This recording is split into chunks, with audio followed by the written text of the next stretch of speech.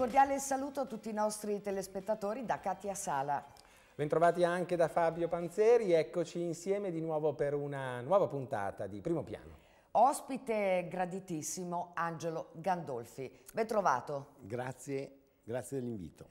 Fabio, faccio davvero fatica a riassumere l'intensissima esistenza di Angelo Gandolfi, uomo che si è sempre dedicato alle battaglie civili, uomo che si è sempre dedicato alla cultura, eh, senza dimenticare l'impegno politico, l'impegno nelle istituzioni. Abbiamo davvero tanti argomenti di cui parlare, ma io eh, vorrei partire proprio dall'inizio, Gandolfi, da quando lei era bambino, perché a due anni accade un fatto che segnerà la sua vita. Eh sì, a due anni ho preso la polio. Alla sera stavo bene, camminavo, di notte mi è salita una febbre altissima e al mattino non camminavo più. È stata una cosa assolutamente repentina.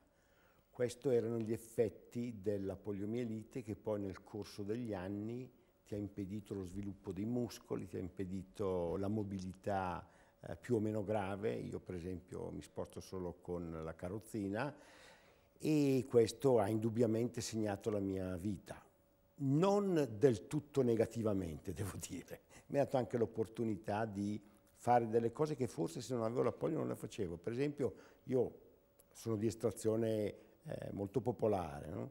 e, e, tutti i miei coetanei a Montemarenzo, dove sono nato e abitavo, sono andati tutti a fare il muratore e io non ho potuto fare il muratore e quindi ho avuto il tempo di leggere, di studiare per i fatti miei perché a scuola non sono andato oltre le elementari, fatto le medie da solo e, e questo mi ha dato la possibilità di avere una vita diversa, appunto diversamente viva e intensa. Diversamente viva è il titolo di uno spettacolo di teatro civile di cui lei insieme a Sergio Vaccaro è autore, ne parliamo perché Troppo, certo. è un capitolo questo molto importante. Beh, eh, classe 1947 Gandolfi. Sì. È chiaro che all'epoca i vaccini non esistevano, comunque erano veramente... Sì, c'era un vaccino assolutamente inefficace non, non ci fu ancora a quell'epoca il Sebin, come venne dopo, che risolse tutto. Tra l'altro ricordare la figura di Sebin è straordinaria perché è stata l'unica persona che ha inventato un vaccino che ha risolto questa gravissima malattia eh, infantile e non ha tenuto per sé il diritto di riprodurla. L'ha donata a tutti i paesi dicendo adesso fate eh, questo farmaco. Io adesso sono un po' turbato, se devo dire la verità, da campagne che sento molto forti contro le vaccinazioni. Ecco, cosa vuol dire al popolo dei Novax e anche ai politici che sostengono il popolo dei Novax, no vaccini? Allora, vorrei dire che io sono l'esempio vivente di come il vaccino avrebbe potuto eh, riservarmi una vita decisamente migliore dal punto di vista, punto di vista fisico e non dobbiamo lasciarci intimorire dalla, eh, dalle conseguenze che alcune volte alcuni vaccini possono procurare. Se noi mettiamo sul piatto della bilancia i benefici che i vaccini hanno portato all'umanità e sull'altro piatto della bilancia eh, casi che magari si sono verificati eh, dove ci sono state delle conseguenze negative, è chiaro che il bilancio è assolutamente a favore, a favore dei vaccini perché ha risolto malattie, soprattutto per bambini, eh, di grande sofferenza e di grande diffusione. Fra l'altro, se posso dirlo, l'altro giorno ho incontrato un mio carissimo amico, di cui non posso dire il nome perché è una persona pubblica, che ha un, una figlia con una grave malattia, beh, che deve stare attento a tutte le persone che l'avvicinano, perché lei potrebbe prendere qualsiasi malattia che sarebbe per lei molto seria. Voi mi capite quindi che il vaccinarsi non significa solo che è un vantaggio per me, che sarebbe importante già, eh? sarei venuto qua con i miei piedi, non in carrozzina, ma aiuto anche quelle persone che non hanno la possibilità di vaccinarsi e che sono veramente in balia della nostra responsabilità. Gandolfi, parlare della disabilità è un compito molto difficile anche per gli operatori della comunicazione, trovare il registro giusto che sia alieno da, magari in buona fede dai difetti del paternalismo, da un approccio sbagliato. Forse vale sempre la pena ricordare che si parla di persona con disabilità, esatto. mai sostantivare un individuo in ragione di una sua condizione di disabilità. Certo. Quante volte le è capitato di arrabbiarsi nel leggere o nel sentir parlare di, dis di disabilità in una maniera che le sembrava sbagliata? Sì, nella mia vita è capitato molto spesso, soprattutto nella fase adolescenziale, quando eh, tu hai il desiderio di, di, fare delle cose che ti sono impedite, no? Invece verso di te c'è sempre quella forma un po' paternalistica e poi c'è un aspetto, eh, secondo me, che è il, più, il più serio, il più doloroso, proprio che riguarda l'adolescenza, perché il disabile,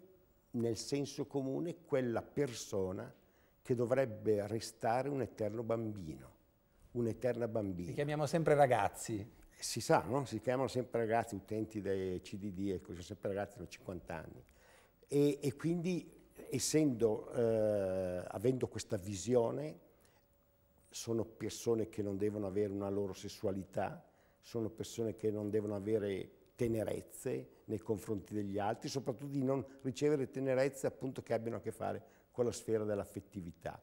E questo è veramente una cosa pesantissima, questa è una cosa veramente che incide molto poi anche ne, non solo nei comportamenti, proprio ne, nell'equilibrio eh, fisico, beh, psicofisico di, una, di un individuo, insomma. Ecco, Sono stati questa... fatti passi avanti sì, comunque. Notevoli, notevolissimi. Guardate, eh, io e mia moglie abbiamo, tra virgolette, militato eh, un secolo fa quasi, in, in eh, organizzazioni eh, religiose molto tradizionaliste che, devo dire, erano le uniche che si occupavano delle persone disabili. Mm? Ecco, però eh, dove lì per esempio c'era questo concetto che la sofferenza della persona disabile era un valore perché doveva essere donata a Dio per mondare i peccati del mondo.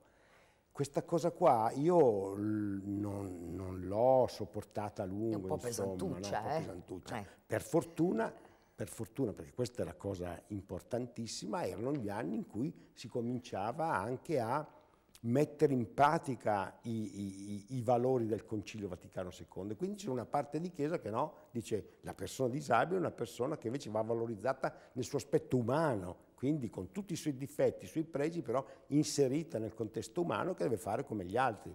E quindi è stato molto interessante, molto creativo questo periodo. Ha citato sua moglie Carla, una donna straordinaria, la conosciamo eh, che l'ha affiancato sempre in tante battaglie e poi nella vita quotidiana. Sì, io e Carla condividiamo le, delle cose molto importanti e litighiamo spessissimo su delle cose assolutamente trascurabili. E chi ha ragione alla fine? Ha ragione no, non lo so, cerchiamo di non arrivare mai fino in fondo, lasciamo in sospeso la questione per non avere né vinti né vincitori, e nel senso che sì, eh, penso che la convivenza, quella che eh, dura nel tempo, è quella di, di, condividere le cose che hanno senso, ecco, Assolutamente di, di, di valori, sì. insomma, capito? Lei prima parlava dell'affettività, della sessualità, ecco, sono temi sui quali spesso e volentieri cala il silenzio. Lei invece eh, so che sappiamo eh, che ha tenuto una relazione molto apprezzata, frutto delle sue letture, della sua intelligenza e sensibilità, attorno a, credo, un'opera meravigliosa per chiunque, anche per i laici, per i, gli atei, il Cantico dei Cantici. Sì, per dire cosa? Sì, con il sindaco eh, di Brivio è stata una serata molto interessante, ero stato chiamato a portare la mia testimonianza. Poco tempo fa, vero? Sì, eh, la mia testimonianza sulla relazione fra disabilità e, e, sessualità e il pretesto era partire dal Cantico dei Cantici, no? perché anche lì ci sono un po' di ambiguità, ambiguità interpretazioni, via, dove si pensa che sia che la parte diciamo, eh, erotica del, di questo straordinario testo letterario sia anche quella una, eh, come posso dire, una, una sublimazione eh, eh, rivolta verso Dio, invece è niente, è un canto d'amore eh, molto corporale, molto fisico fra due e quindi sono partito da quello proprio perché eh, diciamo che questa barriera dell'affettività tra persone disabili o tra un disabile e una persona non disabile rimane una delle barriere ancora da, da, da superare. Lo so che è molto difficile perché coinvolge sentimenti e non puoi fare una legge che obbliga qualcuno ad amare qualcun altro.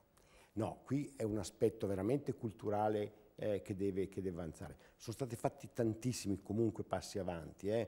Per esempio io sono partito da quando si facevano le scuole differenziate per le persone disabili, per i ragazzi, adesso invece c'è l'insegnante di sostegno per aiutare l'integrazione. Però non dobbiamo mai dimenticare che sono conquiste non una volta per tutte.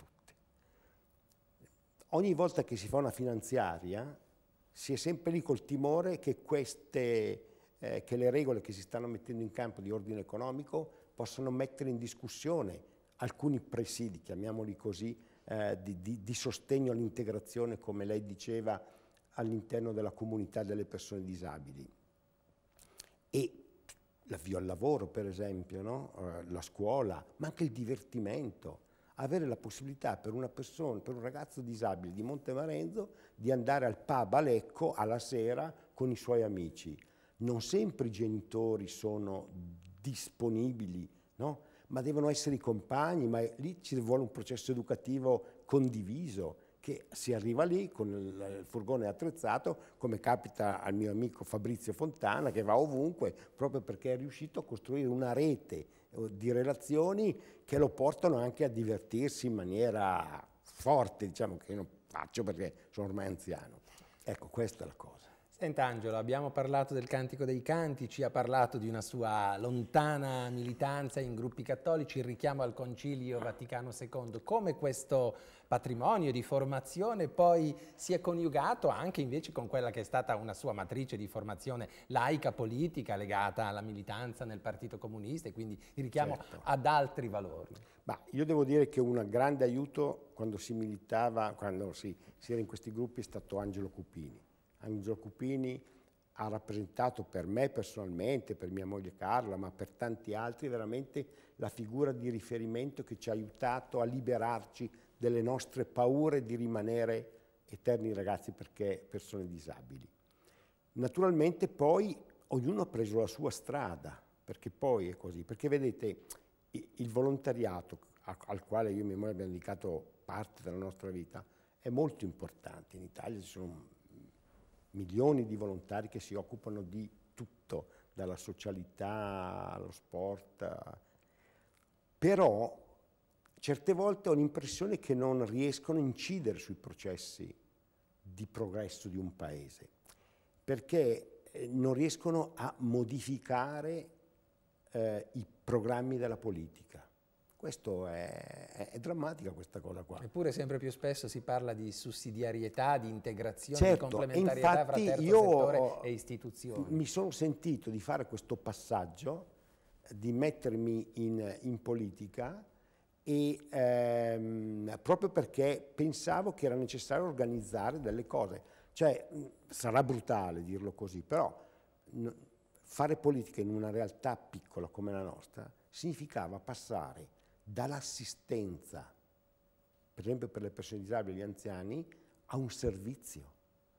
Cioè mh, la differenza non è solo, eh, solo eh, formale, è, è semantica, è proprio profonda, perché l'assistenza era io ti concedo questa cosa, ti do, guarda, ti do, mi capitava, eh, ti do 100.000 lire al mese perché non hai niente, sei disabile, al diritto di avere la scuola, di avere il lavoro, al diritto di potersi curare. Questa era la differenza sostanziale. E quindi ho detto, vabbè, facciamo questo. E quindi mi sono messo in politica per fare questo. E mi sono avvicinato a quello che mi sembrava il partito più vicino a, a questo tipo di proposte, di rivendicazione. Senza mai, guardate, io vi, è una testimonianza. Qualche mese fa è scomparso un sindaco di Montemarenzo della Democrazia Cristiana di, degli, anni, degli anni 70, diciamo così. E gli ho scritto una lettera ai, figli, no? dicendo che adesso, a distanza di tanti anni, riconosco che devo molto a lui, perché noi siamo sempre stati antagonisti, ma mai nemici. Mai nessuno dei due ha tentato di, come posso dire, eliminare l'altro ha cercato di far prevalere il suo punto di vista nei confronti dei cittadini, ma sempre mantenendo questo rapporto di civiltà che secondo me deve esistere in politica, assolutamente. La politica non deve essere eh, la distruzione di chi non la pensa come te, mai e poi mai.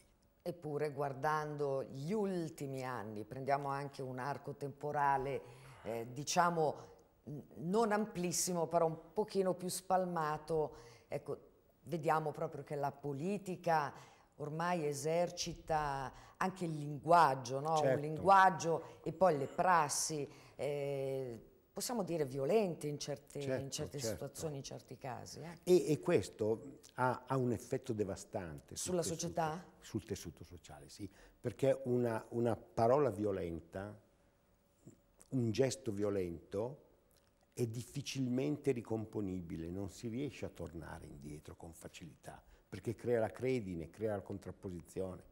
Non è possibile. Diciamo che lo sdogani, quindi lo, sdogani, lo dici tu, lo può dire chiunque. Sì, quello che dicevano, come si dice banalmente, lo diciamo tutti fra di noi, quello che prima si diceva nel bar, dicevi una stupidata tremenda e cattiva e violenta nei confronti delle altre persone, adesso eh, con, con, i media naturalmente eh, diventa un patrimonio visto da milioni di persone e quindi raccoglie consensi su delle questioni che mettono a rischio la tenuta democratica di un paese. E anche con una civiltà dei social che obbliga sempre alla logica del mi piace, non mi piace, Bravo, alla sì, contrapposizione, ragione, alla messa ragione. al bando piuttosto che alla tifoseria e quindi si fatica a un riconoscimento poi dell'alterità di un interlocutore, della differenza come valore che arricchisce. Non ci sono alternative, capite? Quello che vorrei che si capisse, cioè almeno io la penso così, non ci sono alternative alla mediazione. Questa brutta parola, cioè non so perché è diventata una brutta parola la mediazione.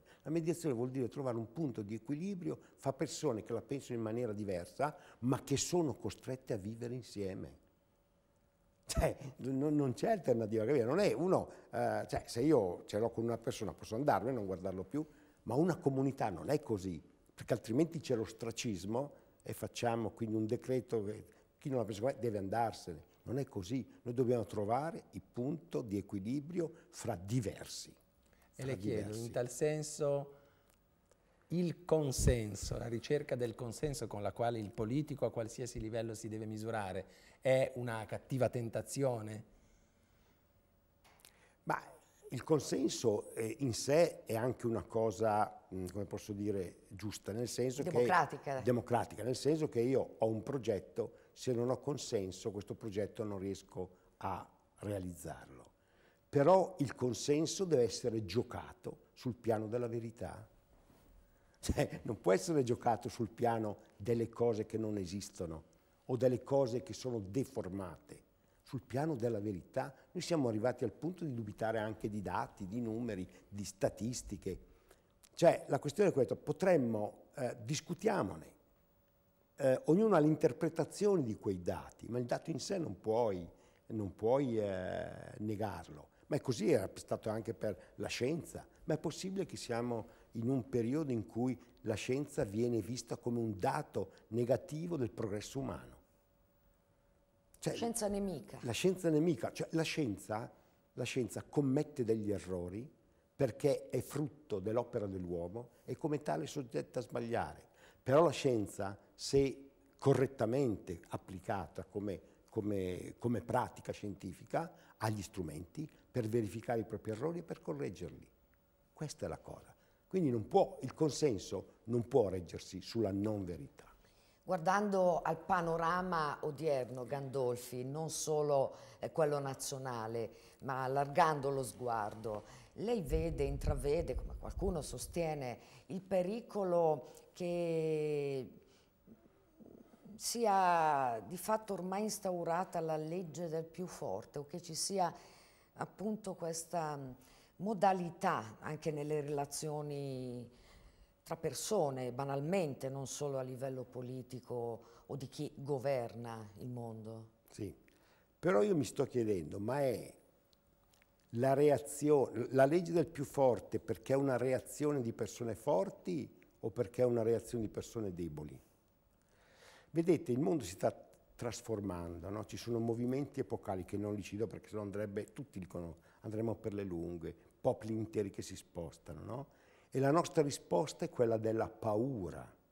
E la paura fa fare gesti di questo tipo, che però non sono gesti, gesti forti, sono gesti deboli, perché non abbiamo la capacità di elaborare una visione di un mondo diverso da quello che avevamo conosciuto.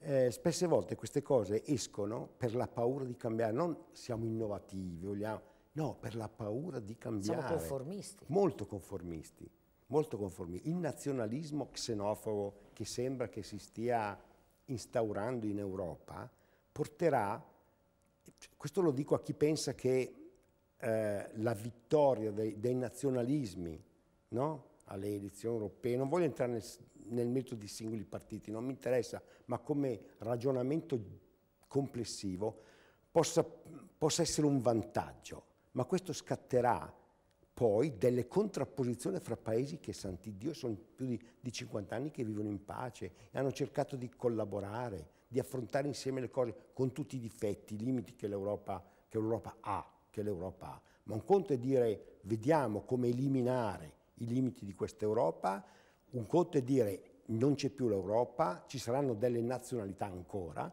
e queste nazionalità si contrapporranno, perché questo è inevitabile.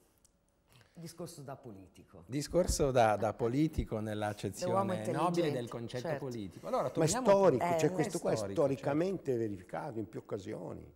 Ecco, torniamo dunque proprio a quegli anni, agli esordi della sua passione civile, delle prime esperienze politiche. Eh, abbiamo toccato i temi salute, lavoro, eh, scuola. Come guarda a quelle esperienze, a quelle battaglie fatte sul territorio per promuovere un avanzamento sociale delle comunità su questi terreni? Certo. Allora, io ho sempre creduto, ma eh, come credo adesso, ma ho sempre creduto nella, nella forza della cultura. Quando io mi sono occupato di politica, la prima cosa che ho fatto è fare una scuola popolare. Cioè noi abbiamo dato la possibilità a tutte le persone che non avevano avuto l'opportunità di frequentare le, le scuole medie, di fare le scuole medie. Per due anni abbiamo lavorato tutte le sere sul modello di Don Milani per costruire un rapporto educante eh, fra persone diversissime, contadino, il muratore, quello che era in fabbrica. Perché vedete, questo per esempio è un appunto che io dico, faccio adesso al, alla mia parte politica, alla sinistra in genere, no? che non sanno più mettere il corpo sulle questioni. Cioè, adesso devono, secondo me ci sono due cose da fare.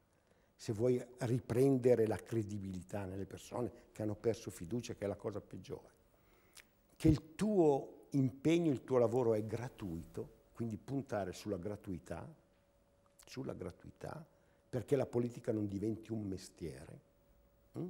e puntare sul fatto di metterci il corpo.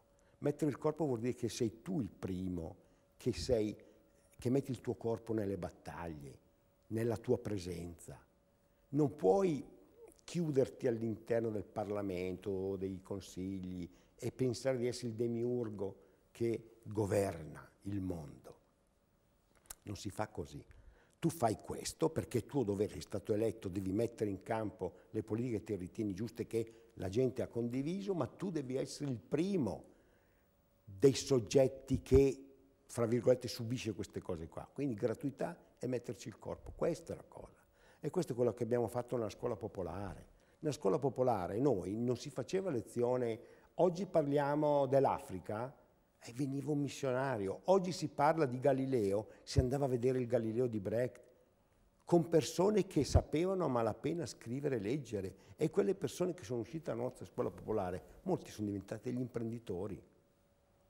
Capite? Quindi il valore della cultura prima, ma anche adesso, ovviamente su piani diversi adesso, perché adesso devi usare strumenti, linguaggi diversi, ma può diventare veramente l'elemento che fa vincere la battaglia giusta. In tal senso cultura, quella sfida di aprire una libreria a Calolzio Corte, eh, sì. fu una grande sì, nostro, scommessa. Ricordata ancora il nostro oggi. direttore eh. e, e, Panzeri sì, eh, conoscevano, sì, eh, sì, è stata la più bella esperienza della mia vita. È stato i dieci anni più belli dove non ho guadagnato una lira, ma è stato bellissimo. Se devo dire.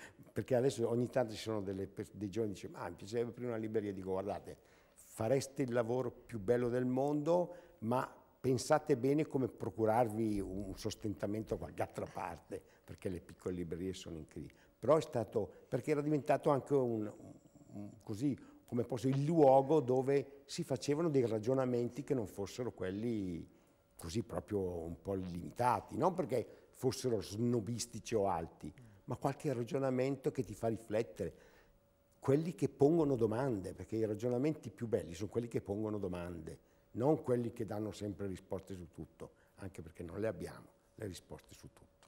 Lei è stato sindaco a Montemarenzo, due mandati. Due mandati. È stato presidente della comunità montana della Valle San Martino, segretario provinciale, allora DPS. erano i DS. Ecco, di tutte queste esperienze, diciamo quella a cui è più legato, quella che crede le, le ha dato, lei è riuscito a dare un'impronta, a lasciare penso un quella di sindaco. sindaco. Sì, penso quella di sindaco perché come dicevo abbiamo costruito una comunità. Sì, que, quelle, quelle suggestioni che avevi da ragazzo, la ludoteca, la biblioteca, i servizi a domicilio, eh, che pensavano lontanissime, l'hai fatte il centro di aggregazione giovanile, l'hai fatto.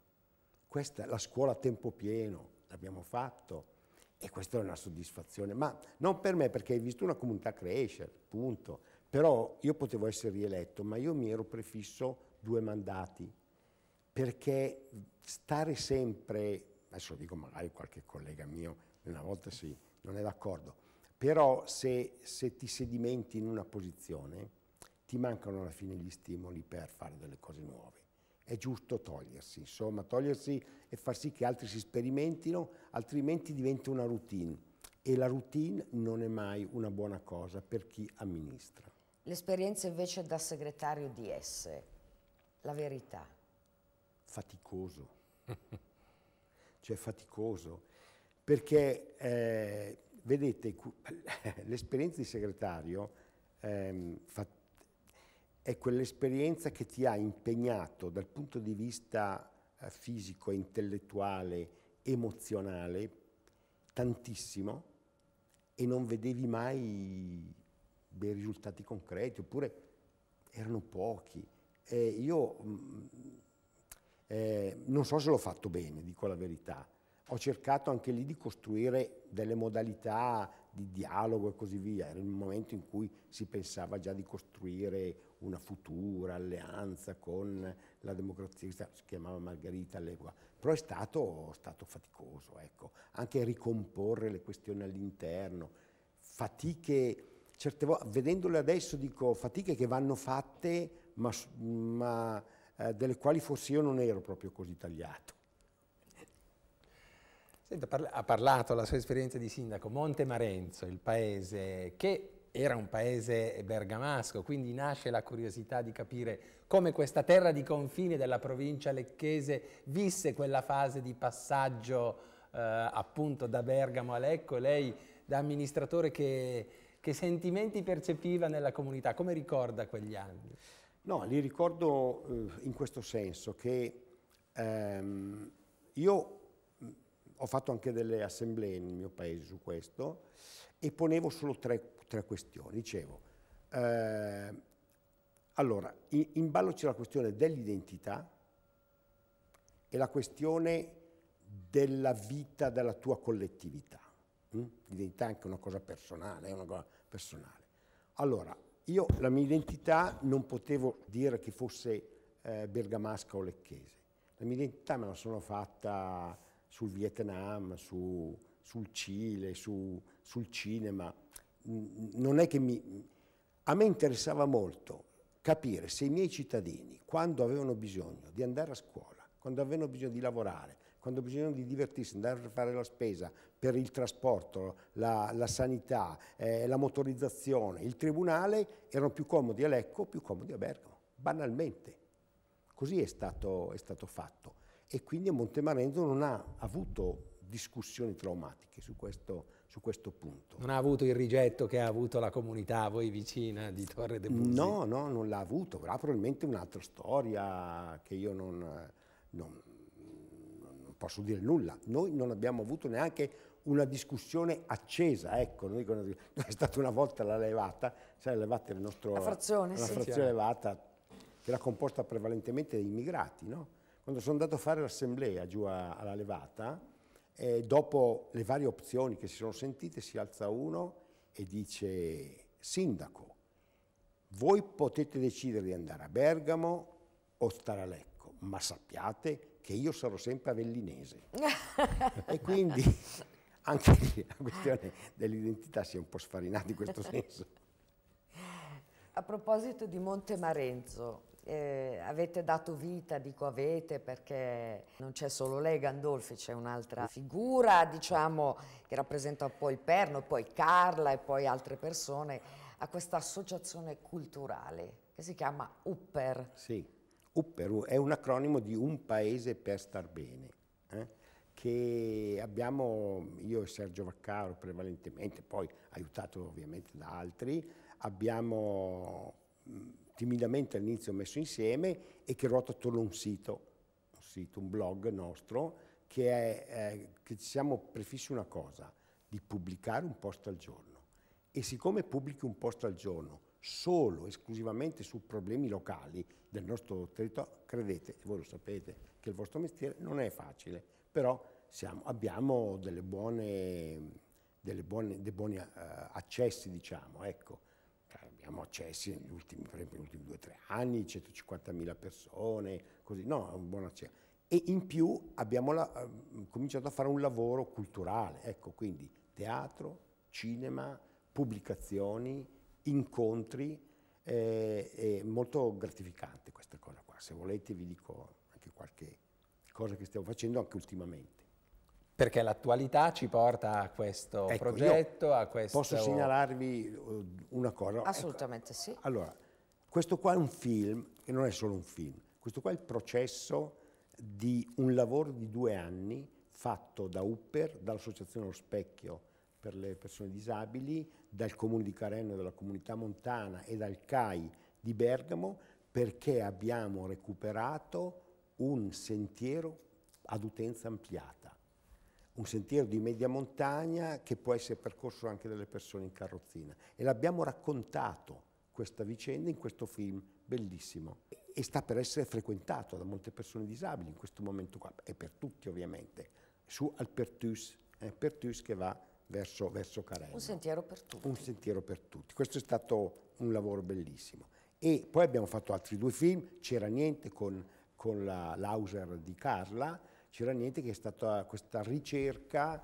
delle testimonianze del Novecento, delle persone anziane di Montemarenzo, eh, e questa ricerca abbiamo, abbiamo, ci siamo stati un po' nelle retrovie perché abbiamo fatto che ci fossero delle ragazze giovani a farlo. Hanno fatto loro questo film intervistando le persone anziane e mettendosi a confronto con la loro vita. È stato molto carino. Poi abbiamo fatto un altro film, eh, Un gioiello nei boschi, che è quello su Santa Margherita, e dopo ci siamo impegnati in questo lavoro, sempre con lo specchio teatrale, che noi consideriamo molto importante. Diversamente viva, appunto, come si diceva prima, che viene rappresentato venerdì eh, di questa settimana. 30 novembre. 30 novembre, al Cenacolo eh, francescano alle ore 21, che è una uh, messa in scena del Romeo e Giulietta di Shakespeare, dove la Giulietta è in carrozzina. È una persona giovanissima in carrozzina, ma ovviamente è il pretesto per raccontare questo, questa storia di una vita fatta appunto di disabilità, ma anche dei suoi amori, dei, dei suoi sentimenti, le sue battaglie, le sue vittorie. La protagonista si chiama Anna. Esatto e nella scrittura del testo lei si è ispirato ad una Anna che non sì. c'è più, Sì. Ma che ha rappresentato tanto in termini di battaglie Sì, civili. molto, molto per, per le persone disabili di Lecco e del nostro territorio, Anna Conti, che è venuta a mancare negli anni 80, fine degli anni 80, era una ragazza in carrozzina che ha realizzato, lei veramente, come dico, è riuscita a ribaltare un destino avverso che l'aveva costretta sulla sedia a rotelle, è riuscita a, a, a, realizzare i suoi sogni personali, individuali, affettivi, ma aveva una capacità di mobilitazione sociale sul tema della disabilità e non solo, ma anche della, eh, nei confronti delle persone diverse, così abbandonate. È stato molto importante molto forte, ha segnato anche la nostra amicizia. Ho ritenuto così molto modestamente di continuare questo tipo di lavoro, insomma. È uno spettacolo che vuole parlare a chi? Questo spettacolo vuole parlare alle persone che ritengono che i disabili, le persone disabili debbano rimanere sempre bambini. Ecco, vuole parlare a queste persone perché non è vero che il disabile vuole rimanere sempre bambino. Lei è riuscito a realizzare i sogni, almeno i principali, che ha coltivato nella sua vita così intensa? Sì, dai, devo dire di sì, devo dire di sì. Cioè, adesso è Un vero. combattente sì. però, eh, bisogna combattere. Eh, sì, eh, sì, sì, bisogna combattere. Io adesso sono un po' vecchio e quindi non ho più la grinta di una volta, sono più, più tranquillo. Per esempio, non mi arrabbio neanche qua, quasi più quando trovo il parcheggio Occupato. occupato da qualcuno. Si arrabbia molto di più mia moglie, la Carla. Io, mh, ecco, non riesco più neanche a arrabbiarmi tanto di quello, però no- nulla è regalato. Ecco, le persone, ci sono poche persone che ti donano, ma eh, è anche giusto che ci sia una, una battaglia in alcune cose, queste battaglie civili, no? Perché servono a far crescere, servono a far crescere, perché le persone alcune volte non sono attente, non perché sono cattive, ma perché non conoscono. E il senso di questo teatro è anche quello. Ti metto in scena il corpo di una persona disabile e dal suo racconto, suo, da, da, quello che dice, dai suoi gesti, eh, tu capisci cosa ti manca per essere con lui effettivamente solidale. Beh, è una riflessione molto giusta. A volte non serve essere cattivi per fare No. del male. Involontariamente si fa del male anche voltando gli occhi dall'altra parte, non guardando la realtà, non guardando i problemi a cui La si può dare un contributo. famosa no? filosofa che diceva questa, che la banalità del male, spesse volte, eh, la Hannah Arendt, era proprio dovuta a questo, insomma, ecco, non aver avuta la, la conoscenza, la percezione della sofferenza dell'altro, la difficoltà dell'altro, ma non in termini pietistici, eh, in termini di far valere anche per l'altro i diritti che ho io. E a chi dice che la cultura non serve, cosa replichiamo? No, io dico che la cultura si mangia, ragazzi. Con la cultura si mangia, è bene e si è soddisfatti. Bisogna essere golosi di cultura. Oh, bella questa, questa è bella. Allora, se posso, la mutuerò nelle occasioni ovviamente adatte, citando la fonte. Bisogna essere golosi di, Di cultura, cultura, sì. anche perché la cultura, forse nella sua accezione più importante, io credo, e, penso anche che siamo d'accordo, serve a diventare persone più consapevoli e se non siamo consapevoli forse non riusciamo ad essere liberi, a Certo. pensare con la nostra testa. Certo, eh, la consapevolezza vuol dire che ogni tanto l'automobile la guido anch'io e non faccio solo il passeggero. Altra citazione, Altra che, possiamo, citazione. Che, che possiamo mutuare. Allora, suggerimento magari prossimo lavoro aforismi di Angelo Gandolfi. Aforismi.